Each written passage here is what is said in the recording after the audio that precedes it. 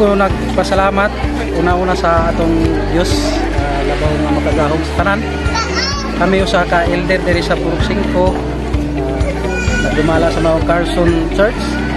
Nagpasalamat kami sa higayon sa mga kapatanunan karon nga Global Youth Day. O daghang kay salamat labi na sa ilang nagdala diri sa ilang presidente Patricio. O sa iyang mga kaubanan mga kapatanunan usab labing daghang salamat kayo nga usa ang among simbahan diri napili sa ilang programa nga natatabang sa mga karon labi na sa mga balatian sa pang uh, pangkalusugan nahibaw-an hinuon ang among usay mga kakulangon sa among panglawas. So dakong salamat. o,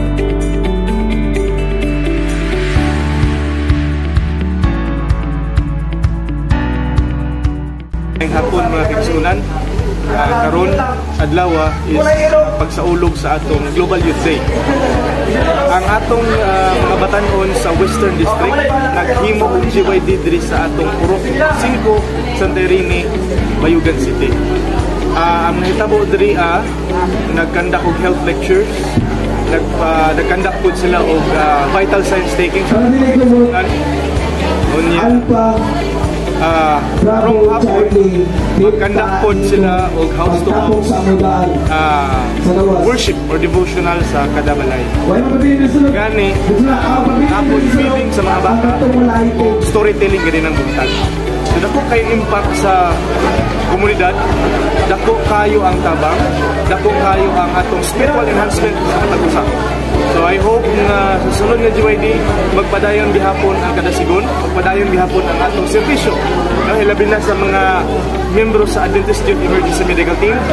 Nagamit kay guys sila karong uh, gayon na sa atong Global Youth Day sa pagkuha og vital signs BP sa atong mga uh, diri sulod sa komunidad sa City. Daghang salamat uh, Western District. Daghang salamat sa tanan nga nagparticipar sa atong Global Youth Day. Ang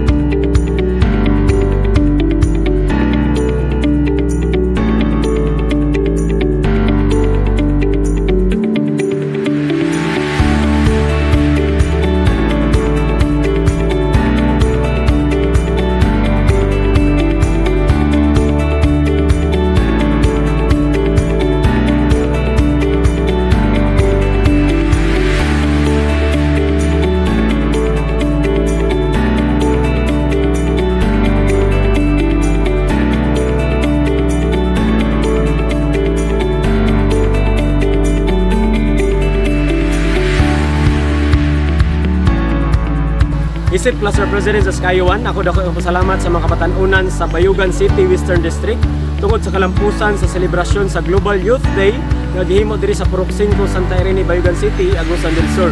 So dako kay kay pasalamat tungod sa kadasigon nga lang gipakita nga di nakita sa mga kaigsunan nga lumulupyo diri ah, ang gugma sa, sa atong Ginoong Dios pinagay silang pagtabang sa buhay.